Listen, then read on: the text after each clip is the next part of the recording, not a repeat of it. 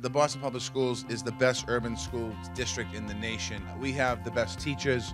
We have an incredible staff. We have incredible principals. And I'm pleased to announce that the Boston Public School and the school committee and the Boston Teachers Union, your new president, have reached an agreement on a new contract for teachers. It focuses on areas of common agreement while providing reasonable financial support in exchange for reasonable increased flexibility for the district in several key areas. This agreement also underscores our shared values and our shared commitment to creating safe and healthy, welcoming schools for all of our students.